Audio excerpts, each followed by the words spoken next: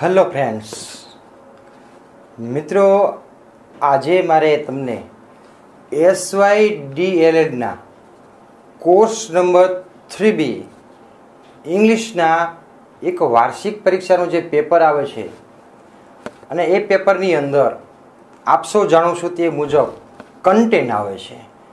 અને એમાં ખાસ કરીને કન્ટેન્ટની અંદર આપણે જોઈએ તો ધોરણ ત્રણથી આઠનું કન્ટેન્ટ છે, જેમની અંદર ધોરણ છથી આઠના જે પાઠ્યપુસ્તકો છે, એમાંના જે લેસન્સ જે રહેલા છે, એ લેસન્સમાંથી તમને ચારેક જેટલા પેરેગ્રાફ પૂછવામાં આવે છે અને એ પેરેગ્રાફના તમારે બે પ્રશ્ન હોય, એ પ્રશ્નના જવાબ આપવાના હોય છે.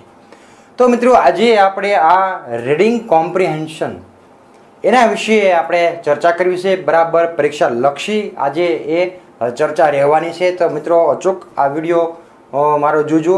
જેથી કરીને તમારે એસવાયડીની અંદર, કન્ટેન્ટની અંદર એક પણ માર્ક્સ ન કપાય એ રીતે આપણે પરીક્ષાને આપણે આપવાની છે.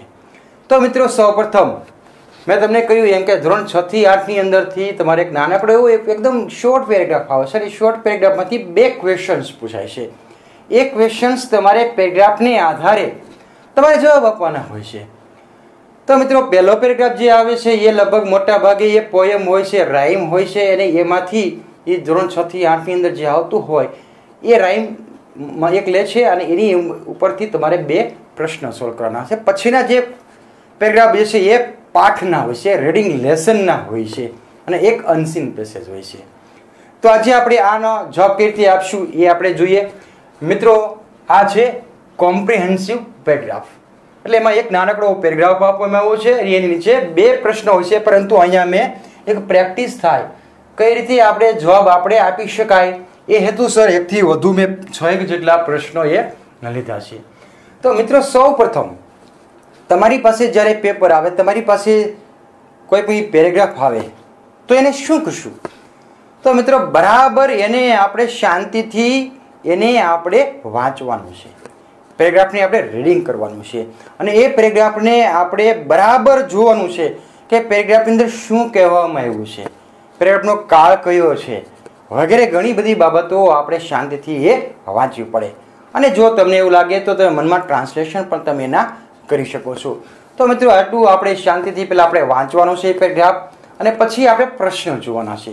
તો મિત્રો, અહીંયા એક પેરેગ્રાફ આપણે લીધો છે પ્રેક્ટિસ માટે લીધો છે તો પેલા બરાબર આપણે એને પેરેગ્રાફને વાંચીએ તો સૌ પ્રથમ અહીંયા લખવાનું છે, Golu and Motu were friends they live in Rajnagar colony Golu work hard and did his work in time. Motu loved to play and watch TV.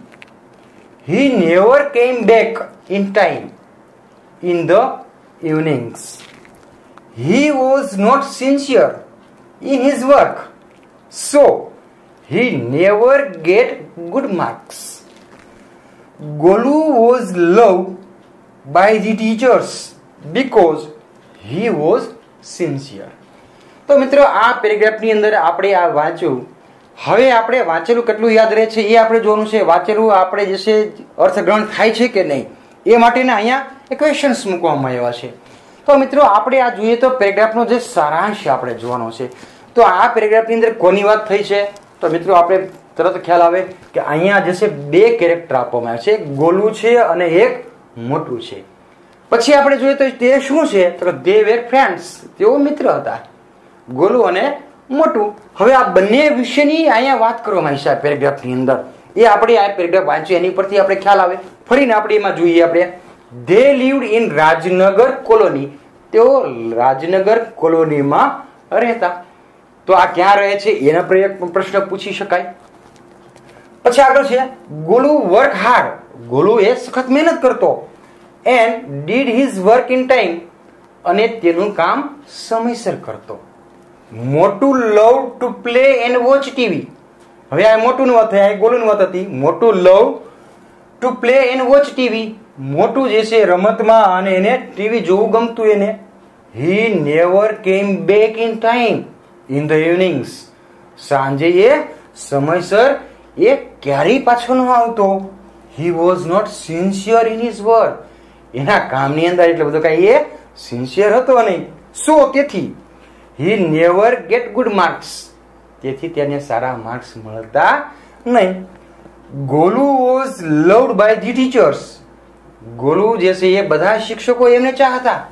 શું કામ? બીકોઝ હી વોઝ સિન્સિયર કારણ કે તે સિન્સિયર હતો. એના કામની અંદર sincere હતો. તો મિત્રો, અહીંયા આ બે જે કેરેક્ટર છે, ગોલુ અને મોટું, તો આ બંનેની વાત કરવામાં આવી છે, ગોલુ અને મોટું.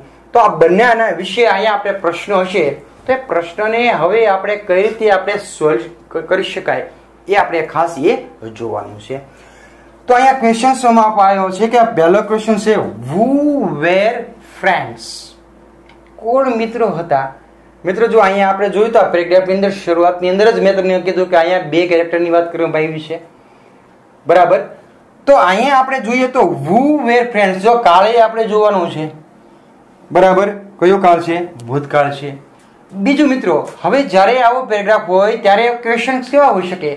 તો એક તો ઇન્વર્ઝન ટાઈપમાં ક્વેશ્ચન હોઈ શકે. એટલે કે જે પ્રશ્નનો જવાબ યસ અથવા નો ની અંદર જે પ્રશ્ન જવાબ આવે, એને ઇન્વર્ઝન ટાઈપ ક્વેશ્ચન કહેવાય. દાખલા તરીકે ઇઝ હી અ ટીચર શું તે શિક્ષક છે? તો આપણે તરત એમ કે યસ હી ઇઝ બરાબર? તો આ એક ઇન્વર્ઝન ટાઈપ ક્વેશ્ચન બીજા કયા ક્વેશ્ચન્સ આવે? તો કે ડબલ્યુ એચ ટાઈપ ક્વેશ્ચન્સ એટલે કે જે પ્રશ્ન ડબલ્યુ એચથી શરૂ થતા હોય હુ છે વોટ છે વેર છે વેન છે, બરાબર? વાય છે. પછી how many how much how તો બરાબર, આ બધા પણ એ પ્રશ્નો એ જેની અંદર આવે છે? એ ડબલ્યુ એચ ક્વેશ્ચન્સની અંદર એ ગણાતા હોય છે. તો આ ઇન્વર્ઝન ક્વેશ્ચન એ આવી શકે. બીજું કયો આવી શકે? એ આવે છે તે ડબલ્યુ એચ ટાઈપ ક્વેશ્ચન ત્રીજો પ્રશ્ન આવો પણ આવી શકે કે ગીવ સિનોનિયમ્સ વર્ડ એમ કરીને કોઈ આ પેરેગ્રાફમાંથી એક વર્ડ આપે અને એમ કે તે આ પેરેગ્રાફમાંથી આવો, તમે સિનોનિયમ સમાનાર્થી શબ્દ ગોતો ઓપોઝિટ જે છે એ શબ્દ તમે ગોતો, આવો પણ પ્રશ્ન પૂછી શકાય. એવું પણ આવી શકે, કોઈ એક વર્બ આપે અને એમ કે આ વર્બનું નામ શું થાય? આવો પણ પ્રશ્ન આવી શકે. ઘણી રીતે પ્રશ્ન આવી શકે, આમાંથી એડજેક્ટિવ શોધો, એવું પણ આવી શકે. તો મોટાભાગે આપણે તો બે જ પ્રશ્ન આવવાના છે. તો બહુ ઝાઝું આવું ટેસ્ટ કરીને તો ન જ પૂછાય. પરંતુ જે સામાન્ય જે પેરેગ્રાફમાંથી જે ફલિત થતા હોય, એવા એ આપણે ક્વેશ્ચન્સ જરૂર આપણે એ કરીએ. તો મિત્રો, પહેલો પ્રશ્ન છે વુ વેર ફ્રેન્ડ્સ તો હવે આપણે જ્યારે વુથી જ્યારે આપણે પ્રશ્ન પૂછાય છે, ત્યારે આપણે મિત્રો સૌને ખબર છે કે વુથી જ્યારે પ્રશ્ન પૂછાય છે, ત્યારે એના જવાબમાં કોઈ વ્યક્તિઓના નામ આવતા હોય છે. તો અહીંયા વુ વેર ફ્રેન્ડ્સ અહીંયા વુ વેર આવ્યું? બહુ વચન હતું એટલે તો અહીંયા વુની જગ્યાએ આપણે શું મૂકીશું? હવે અહીંયા કોણ મિત્રો હતા? તો કે ગોલુ એન્ડ મોટું. તો તરત જ આપણે અહીંયા જવાબ એમ લખશું આપણે. ગોલુ એન્ડ મોટું. વેર ભૂતકાળ છે એટલે અહીંયા મૂકી દઈશું આપણે વેર ફ્રેન્ડ્સ તો મિત્રો આનો જવાબ આવો થયો. કે ગોલુ એન્ડ મોટું વેર ફ્રેન્ડ્સ ગોલુ અને મોટું મિત્રો હતા. મિત્રો, એકદમ એ જે પ્રશ્ન છે ને, જુઓ જોઈએ હોથી જ્યારે જ્યારે પ્રશ્ન પૂછાય, ત્યારે આપણે એની અંદર નામ આવે. આટલું આપણે ખાસ આપણે જોઈશું આપણે. પછી એ બહુચનની અંદર હોય તો બે નામ આવશે આપણે. એક વચનની અંદર હશે તો એક નામ આવશે. પણ હુથી જ્યારે પ્રશ્ન પૂછાય, ત્યારે એક માર્ક તમારે રોકડો ગણવાનો. પછીનું છે, મિત્રો કે વેર ડીડ ધે લીવ તેઓ ક્યાં રહેતા? તો હવે પેલા મિત્રો આપણે જોઈએ, આપણે ખબર છે કે એ રાજનગર કોલોની અંદર રહેતા. તો આપણે ડાયરેક્ટ અહીંયા આપણે તીર મારીને એમ નહીં કરીશું કરીએ આપણે કે રાજનગર તીર, આપણે કોલોની એવી રીતે. પરંતુ એ પ્રશ્નનો જવાબ પૂરા વાક્યમાં આપણે આપવો પડે. પ્રશ્ન કયા કાળની અંદર પૂછાયો છે, એ પણ ખૂબ જ મિત્રો અગત્યનું છે. તો અહીંયા આપણે જોઈએ તો કયો કાળ છે? તો કે ડીડ એટલે કયો કાળ થયો અહીંયા? સિમ્પલ પાસ્ટ ટેન્સ તો આપણે હવે જ્યારે જવાબ આપીએ, ત્યારે સિમ્પલ પાસ્ટ ટેન્સની રચના એ હોઈ શકે. જો અહીંયા ડઝ આપ્યું હોત તો શું આવત અહીંયા? તો સાદો વર્તમાન કાળ આવત. એ જ રીતે શેલ કે વિલ આપ્યું હોત તો સિમ્પલ ફ્યુચર ટેન્સ તો આ કયા પ્રકારનો એ કાળ છે એ આપણે ખાસ એમાં જોવું પડે. પ્રશ્ન શેનાથી છે? તો કે પ્રશ્ન છે વેરથી. હવે મિત્રો, જ્યારે વેરથી W H E R E where સાથે વેર નથી કરવાનું, ભાઈબંધી કરવાની છે. તો વેર એનો મતલબ શું થયો? ક્યાં? આપણે પૂછે વેર. તો વેરથી જ્યારે જ્યારે આપણે સવાલ આવશે, ત્યારે જવાબ હંમેશા એનો સ્થળની અંદર આવશે. ક્યાં જવું છે? રમતના મેદાન ઉપર જવું છે. ક્યાં ગયો હતો? હું ભાવનગર ગયો હતો. તો ક્યાં? ક્યાંથી જ્યારે પ્રશ્ન પૂછે છે, વેરથી જ્યારે પ્રશ્ન પૂછે છે, ત્યારે જવાબ હંમેશા શું આવશે? એમાં સ્થળવાચક નામ આવશે. તો આપણે જોઈએ અહીંયા કે વેર ડીડ ધે લીવ વેરથી પ્રશ્ન છે, સાદો ભૂતકાળ છે. તો એનો જવાબ કઈ રીતે આપી શકાય? તો મિત્રો, આપણે સાદો ભૂતકાળ પણ શીખ્યા છીએ. હા મિત્રો, જો તમને ખ્યાલ ન હોય તો. દરેક કાળના વિડીયોઝ મેં તમને આપેલા છે. આ યુટ્યુબ ચેનલની અંદર પણ છે. તમે પણ ત્યાં જઈને દરેક કાળ તમે જોઈ શકો છો. પેશીઓ રચના પણ જોઈ શકો છો. મોટા ભાગનું ગ્રામર જે છે તમારે જે પૂછાય છે ડીએલએડની અંદર બીએડની અંદર અને ટેટની અંદર તમામ પ્રકારના વિડીયોઝ મેં તમને આપેલા છે. એ પણ ખાસ તમે એ જોજો. તો અહીંયા આપણે સૌપ્રથમ આપણે હવે જ્યારે જવાબ આપીએ છીએ ત્યારે સાદા ભૂતકાળની આપણે એની અફર્મેટિવ સેન્ટેન્સ એટલે હકાર વાક્યની અંદર આપણે જવાબ આપણે આપવો પડે. તો સૌપ્રથમ આપણે અફર્મેટિવ સેન્ટેન્સ સાદા ભૂતકાળમાં આપણે વાત કરીએ, તો સૌપ્રથમ શું આવશે? કરતા. તો અહીંયા કરતા કોણ છે અહીંયા? ધ્યેય છે અહીંયા. તો સૌપ્રથમ આપણે લઈશું ધ્યેય. હવે કરતા આવી ગયું છે. હવે શું આવશે? ક્રિયાપદ. પણ કેવું આવશે ક્રિયાપદ? ભૂતકાળનું આવશે. તો અહીંયા લીવ હતું અહીંયા. એ શું કામ આવ્યું અહીંયા પ્રશ્ન હતો ડીડ હતું એટલે અહીંયા મૂળરૂપ આવ્યું. પણ પરંતુ હવે આપણે જ્યારે જવાબ આપીએ છીએ અફર્મેટિવ સેન્ટેન્સની અંદર આપણે જવાબ આપીએ છીએ, ત્યારે ડીડ આવશે નહીં. તો લીવનું આપણે જે એની અંદર આપણે ભૂતકાળનું રૂપ ઉમેરવું પડે. તો લીવનું કશું? લીવ. તો અહીંયા આપણે ડી ઉમેરતા ભૂતકાળનું રૂપ બની ગયું. જો અહીંયા આપણે માર ખાઈએ છીએ. જવાબ આપણને ખબર છે, રાજનગર કોલોની. પરંતુ આપણે એમ જ લખવાનું કે where did they live Rajnagar colony તો આપણે કાંઈ માર્ક્સ મળે નહીં. બરાબર, પ્રશ્નનો જવાબ આપણે વ્યવસ્થિત આપણે આપવો પડે. તો કરતા ક્રિયાપદ કર્મ એ અથવા અધર વર્ડ જે આવતું હોય તો તો ધે લીવ તેઓ રહેતા ક્યાં? તો કે they live in Rajnagar colony તો મિત્રો, આવી રીતે આપણે એને જ્યારે વેરથી પ્રશ્ન પૂછાયો હોય, સાદો ભૂતકાળ હોય, તો આવી રીતે એનો જવાબ આપણે આપી શકીએ. હવે માની લો કે અહીંયા આપણે આ નથી પરંતુ આપણે એવો બીજો પ્રેક્ટિસ માટે વિચારીએ છીએ કે વેર ડઝ ધે લીવ એમ આપ્યો તો શું કર બરાબર છે? તો મેં અહીં ફેર્યું છે વેર ડઝ મૂક્યું છે, એટલે કયો કાળ થઈ ગયો? સિમ્પલ પ્રેઝન્ટ સાદો વર્તમાન કાળ તો અહીંયા આપણે શું મુકત? ધે લીવ ન મૂકત, તો ત્યાં શું મૂકત? ખાલી લીવ મૂકત. એમાં શું કામ લીવ કારણ કે આ જે, આ ધ્યેય આપ્યું છે ધ્યેય શું છે? થર્ડ પર્સન પ્લુરલ એટલે કે ત્રીજો પુરુષ બહુવચન. તો ત્યાં આમાં કયો આપણે વર્બ આવે? તો કે મૂળરૂપ આવે. એટલે આપણે અહીંયા they live in Rajnagar colony એમ લખત. દાખલા તરીકે અહીંયા ધ્યેય નથી. અહીંયા હી છે. તો આ પ્રશ્ન સાદા વર્તમાન કાળમાં એમ બને કે વેર ડઝ હી લીવ તે ક્યાં રહે છે? તો આપણે શું મુકત અહીંયા હી લીવ્સ જો તો અહીંયા જો ત્રીજો પુરુષ એક વચન આવે તો એસ અથવા એસ લાગે. બરાબર સાદા વર્તમાન કાળને યાદ કરજો. તો હું શું આમ કે he lives in Rajnagar. Colony. તો મિત્રો આવી રીતે આપણે કાળ કયો છે એ આપણે જોતા જઈશું અને એ મુજબ આપણે એનું ક્રિયાપદ આપણે મૂકીશું. તો આપણો આ પ્રશ્ન એ બરાબર યોગ્ય એનો ઉત્તર ગણાશે. પછીનો આપણે ક્વેશ્ચન જોઈ લઈએ. Who did work in time જો મિત્રો, ફરીને વૃથી પ્રશ્ન આવ્યો. વૃથી પ્રશ્ન આવે એટલે મેં તમને કહ્યું કે એક પણ માર્ક્સ ન જવું જોઈએ આપણે, એ રીતે આપણે કરવાનું છે.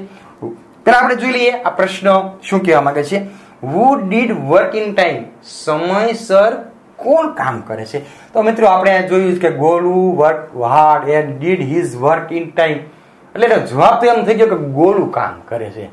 મોટું નથી કામ કરતો, સમય છે. એ સિન્સિયર નથી. એ આપણે પેરેગ્રાફ ઉપરથી આપણે એ જોયું. તો મિત્રો, અહીંયા ગુણી જગ્યાએ મેં તમને કીધું માત્ર આપણે શું મૂકીશું? આપણે અહીંયા નામ મૂકીશું. તો આપણે ગુણી જગ્યાએ પેલા આપણે નામ મૂકી દેવી. ગોલું. બરાબર? હવે તો અહીંયા તો પ્રશ્નાર્થ વાક્ય છે. એટલે અહીંયા ડીડ મૂકવામાં આવ્યું છે, તો અહીંયા હવે ડીડ નીકળી જશે. તો શું થશે હવે અહીંયા ડીડ નીકળી જશે વર્ક જે છે અહીં ભૂતકાળ છે, સાદો ભૂતકાળ, તો વર્કનું પાસ ફોર્મ એ થશે ને ભૂતકાળ મૂકવું પડશે. તો અહીંયા વર્કનું શું થશે? વર્ટ તો Golu work in time in time ફરીને ગોલું વર્ક જો અહીંયા ઈડી પ્રત્યે લાગ્યો છે. શું કામ? કારણ કે અહીંયા જે છે ભૂતકાળની અંદર પ્રશ્ન પૂછાયો છે. એટલા માટે આપણે અહીંયા ઈડી પ્રત્યે લાગ્યો છે. બીજું કશું પણ કર્યું નથી. Golu work in time. Golu સમયસર કામ કરે છે. પછીનો પ્રશ્ન થયો. What did Motu love to do? Motu જે છે એને શું ગમે છે એને? તો આ વોટથી પ્રશ્ન છે મિત્રો. તો આ વોટથી પ્રશ્ન સાદા ભૂતકાળની અંદર પ્રશ્ન છે, એ પણ આપણે ધ્યાન રાખીએ આપણે. તો ભાઈ, શું ગમે છે એ આપણે પેરેગ્રાફથી આપણે જરા જોઈ લઈએ આપણે. આગળ આપણે પેરેગ્રાફ વાંચતા રહીએ. Motu love to play and watch TV રમવું અને ટીવી જોવી જેને ગમે છે. તો મિત્રો, અહીંયા આપણે પ્રશ્ન જવાબ આપીશું. ત્યારે આપણે વોટથી અહીં પ્રશ્ન છે. તો આ મોટું એ શું છે? અહીંયા આપણે સબ્જેક્ટ છે. એટલે કે એ કરતા છે. તો આપણે એને પહેલું આપણે લઈશું.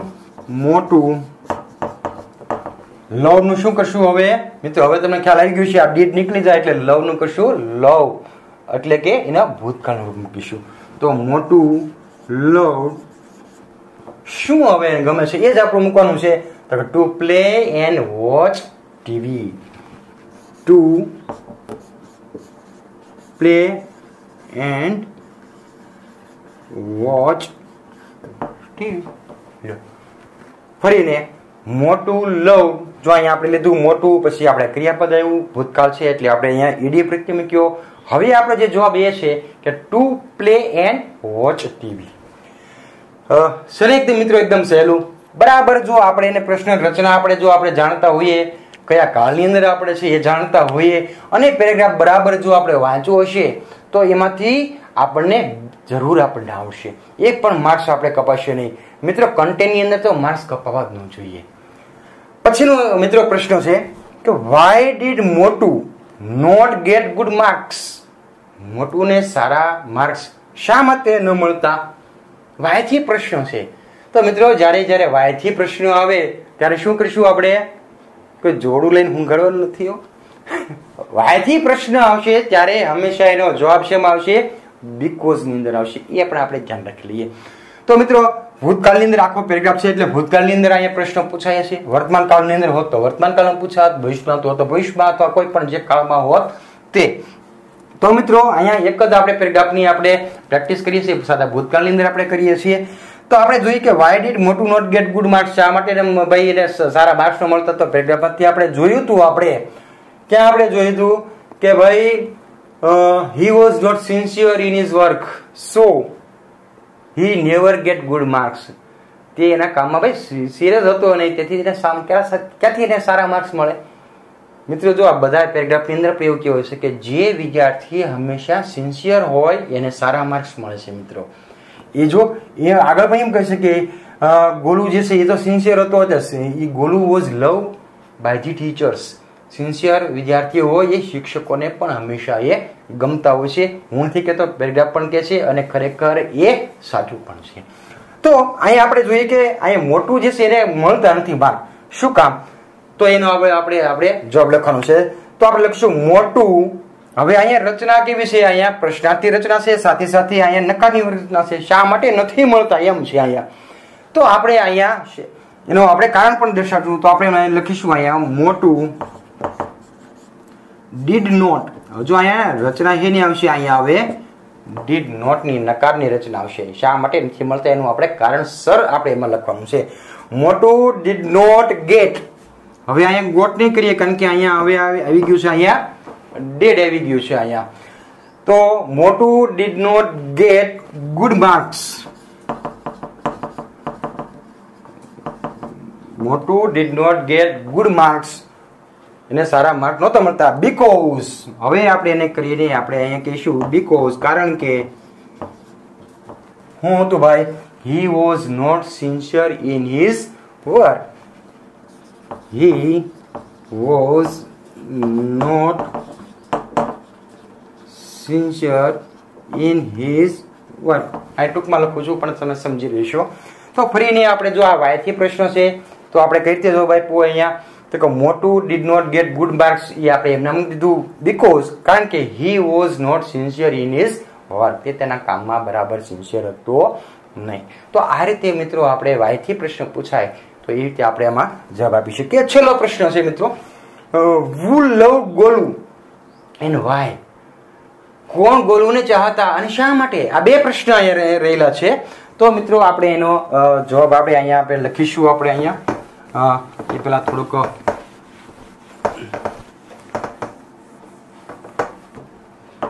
તો આપણે પેરેગ્રાફમાં મિત્રો આપણે જોયું તો આપણે કે Golu was love by the teachers.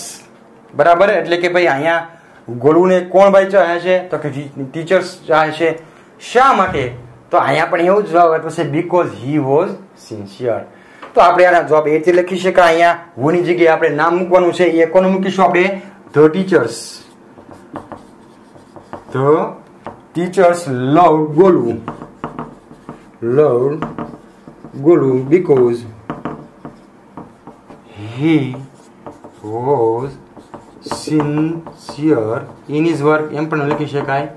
In his work તો મિત્રો, અહીંયા ઝડપથી લખું છું એટલે બરાબર તમે અહીંયા વાક્ય આપેલું છે, સમજી જશો મિત્રો. તો અહીંયા આપણે ક્યાંય વૃથિ પ્રશ્ન હતો.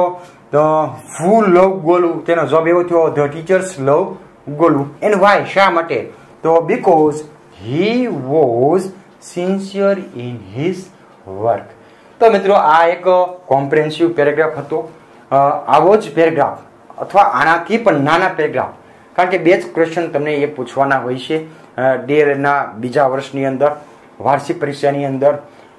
તો આવા એક નાનકડો પેરેગ્રાફ આપણે આપવાનો હશે અને બે પ્રશ્નો હશે. બે પ્રશ્નને જવાબ આપતા પહેલાં બરાબર આપણે એક કાળજીપૂર્વક આપણે પેરેગ્રાફને વાંચવાનું છે, સમજવાનું છે અને પ્રશ્નની કયા કાળની અંદર પૂછાયું છે એ સમજવાનું છે અને આપણે જો જવાબ આપીશું તો મને લાગે છે કે આપણે બે માર્ક્સનો પેરેગ્રાફ એવા આપણે ચારેક પેરેગ્રાફ આવશે ટોટલ આઠ માર્ક્સના થાય છે મિત્રો. એક અનસીન પેસીસ પણ છે.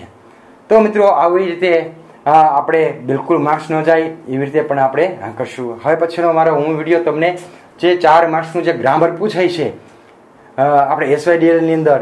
તો એના વિડીયોઝ તો મેં તમને આપી દીધેલા છે, પરંતુ કઈ રીતે સોલ્વ કરવું, એનો એક પણ વીડિયો હું તમને આપીશ, જેથી કરીને આપણા એક પણ માર્ક્સ કન્ટેન્ટની અંદર ન કપાય, એવું આપણે એ કરશું. તો મિત્રો, મળશું ફરીને નવા વિડીયા સાથે. ત્યાં સુધી સૌને જય જગત